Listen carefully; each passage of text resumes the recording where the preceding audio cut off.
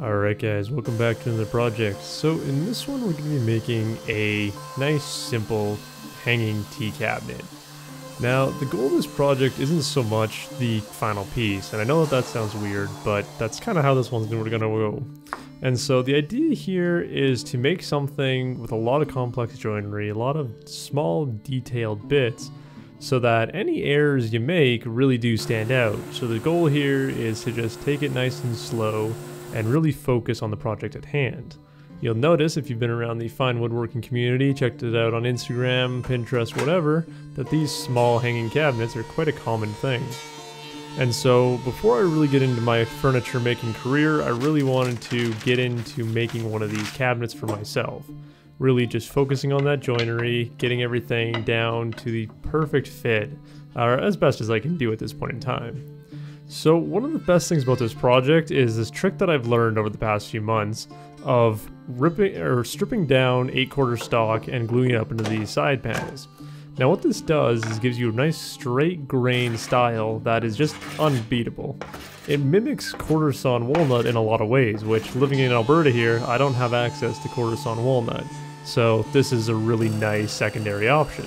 And you can see just how nice those panels look even in the raw form. And so at this stage we're just roughing out the panels, getting everything down to its rough size so that then I can go in and cut out the joinery. Now all that really matters here is that everything is as square as possible. So again, I really need to take my time because this will affect what I do later on. It's hard to cut joinery when your pieces aren't squared, so taking the time to focus and concentrate on what I'm doing here really matters.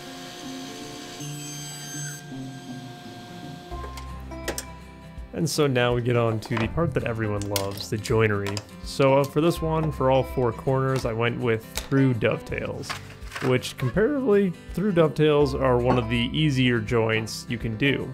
There's nothing really complex about them other than the obvious complexity of cutting a dovetail.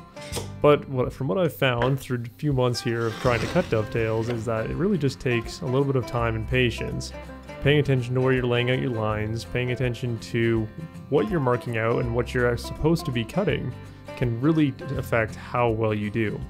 If you just start going crazy, you're never going to get a good result. But if you take the time to lay out your lines and really carefully cut to your lines, you'll be able to get a really good result. And I know here it looks like I have a lot of expensive tools for this, but in reality, they're not that expensive. All you really need is a couple chisels, a decent little handsaw, and you're good to go. And a Moxon vise. A Moxon vise definitely helps. Probably one of the most useful things in my opinion. And so one of the best parts about hand-cut dovetails is just how close together you can get the tails. In fact, that's one of the things I really like to do, and as I get better, I'd like to get them really as close as I possibly can, because it's one of those things that shows that they're hand cut. There's a lot of other little tips and tricks you can do to show that they're hand cut, you know, leaving the marking lines in, all that. But the big thing is definitely how close your tails are together really defines how or whether or not they were hand cut. And so fitting up the dovetails is such a fun process because you really just, you get close with the saw and then it's all about going in with the square and just double checking that everything is lining up perfectly putting the panel on, taking it off, and just working until you get there. And so with the main case, the joinery cut, then we move on to the rest of it. So within the case, we have three different shelves. The bottom two are going to be supporting drawers, and so to make them a little bit easier than, uh, well, compared to do anything else, I made them a frame and panel design, which makes it life so much easier because you really can just glue them up and stick them in whereas the top panel is a normal panel. It just sits in there floating. And so to make the frames for the bottom two shelves, I use this tenoning jig to cut uh, to cut bridle joints. And again, bridle joints are one of my favorite joints for applications like this. I think they ended up looking really cool and they're just so simple to make that they really are an unbeatable joint for something like this. And so cleaning it up with the hand plane again gives you a perfect fit inside of the cabinet. And so same thing on the top shelf, I just went and smoothed it all down with my hand plane because as much as possible, I like to try and finish all of my stuff with the hand plane. Uh, I think that it just gives the best possible result. And so then to cut the grooves that these, these shelves are going to sit in, I was to use my router and a little dado jig. Because I don't want these dados to go all the way through to the front edge, I need to make sure they were stopped. And the only way to do that is with the router. And so using this jig, I just cut a nice simple quarter inch groove, or dado, you gotta use the right terminology there, across the panel. And then I could go in and start to finish everything up with the hand plane and prepare it for finish.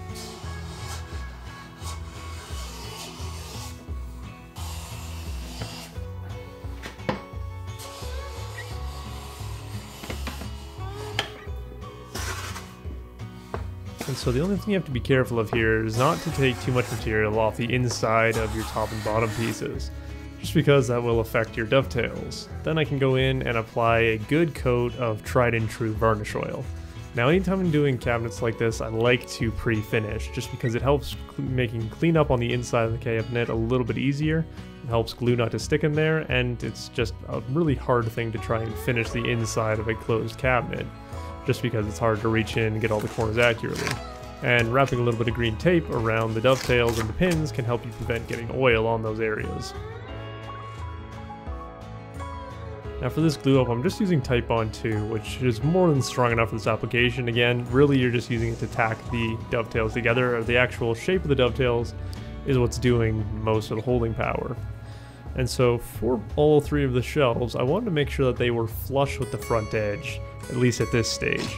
So I went in and just cut a small, simple notch on the front corner so that they would actually line up with the front edge.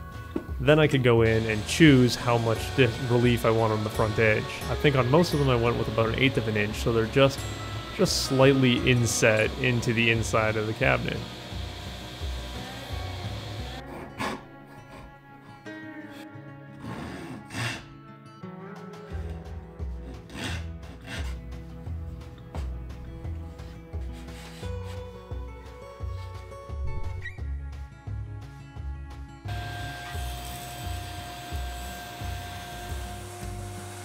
Then it was time to work on the back panel. So for this back panel I'm using sawn fir, which is a very interesting wood. I've never really seen it before, I've never really heard of anyone using it, so I was kind of excited to try this piece out.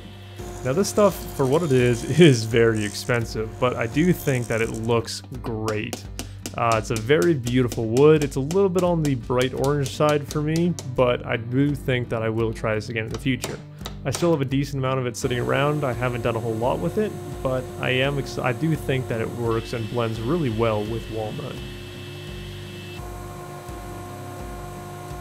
And so the hanging mechanism for this cabinet is going to be just a simple French cleat. Normally I wouldn't make these out of walnut, but because I had so much scrap laying around, I just went for it.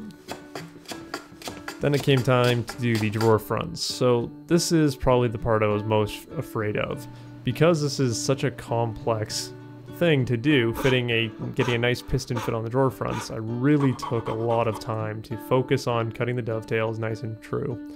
And so on the front of the drawers, I did half blind dovetails. Now this is my first time successfully doing half blind dovetails. Uh, that's in practices and everything. Every other time I've tried to do them, I've always blown out the front edge.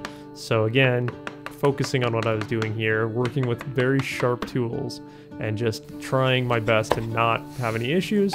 And I got very lucky. I, I can chalk it up to a little bit of skill, but mostly luck.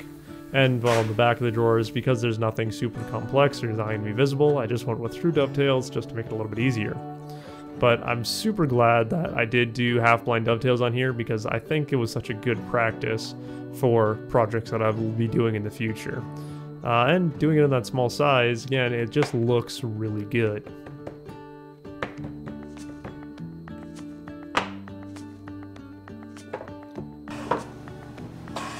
And so with the drawers all glued up, I could then go in and clean them up to get that nice piston fit so that when you push them in, they kind of stick in. And then to perfectly accentuate these drawers, I put on some nice Horton Brasses knobs. These are solid brass knobs, by the way, which I absolutely love. Then it was time to put the final piece in. So above the, or the middle section of this, I wanted to have a tray. Now this is a thing I built. I built a couple of these tea cabinets before, and I really like putting these trays in the middle section because it makes it, it's such a cool idea because you have that exposed frame and panel shelf right below it, And you can either fill that shelf or you can put in a tray like this. So this is where you would theoretically keep the teapot or some cups or whatever serving utensils you have, you know, a sugar dish, whatever it may be. And so it makes it really easy that when you want to, when it comes to tea time, you can just pull this tray out and go ahead and serve it. And so this is a nice simple tray utilizing the table saw for all the joinery.